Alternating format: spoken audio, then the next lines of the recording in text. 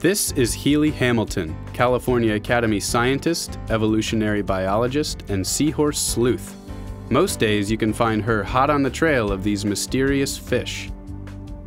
Syngnathid fishes include pipefish, pipe horses, sea dragons, and seahorses. So they include some of the most diverse and magical forms of fishes in the sea. They may look different, but they all have a similar fused jaw. They have something else in common too. All syngnathid fishes have male, some form of male parental care.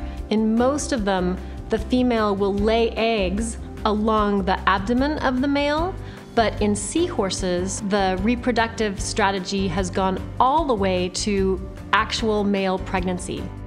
She'll track these fish anywhere, mostly to beautiful places like New Caledonia, a hotspot for seahorses and pipefish.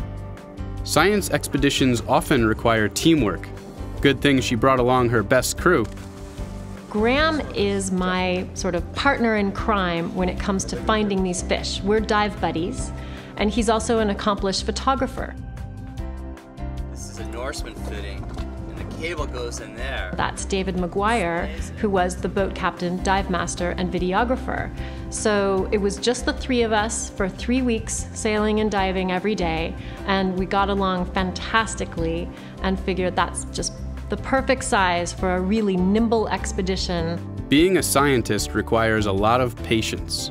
Sometimes it takes years to find what you're looking for. On the very last day of the expedition, on the morning dive, I was swimming along in this mucky substrate with little tiny plants growing out of the bottom, and out of the corner of my mask, I saw this tiny little movement.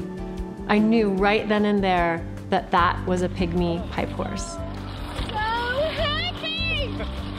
Oh my gosh! Hey, god! Central Nura! Woo! Pipe horse in New Caledonia. This made the entire trip. But being out in the field is just half of the job. For Healy, the lab holds equally exciting wonders. With syngnathid fishes, it can be very difficult to diagnose them to species level with confidence. However, with DNA sequences, it's pretty clear where the breaks are. In fact, when sequencing the genes of this large seahorse, she found it to be a species that had never been found anywhere near New Caledonia. And it tells us just how little we know about seahorses. We really don't know what their true distributions are. With Healy Hamilton, modern scientist slash PI on the case, the mystery of seahorses and their kin will be unraveled before too long. The team is off to Western Australia next.